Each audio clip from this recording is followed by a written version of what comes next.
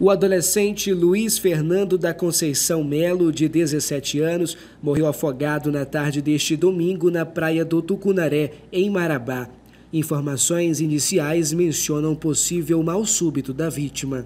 De acordo com informações iniciais, a vítima estava na praia do Tucunaré, aproveitando o domingo, como fizeram centenas de banhistas neste último fim de semana. Acontece que ele desapareceu nas águas do rio Tocantins durante cerca de 10 minutos.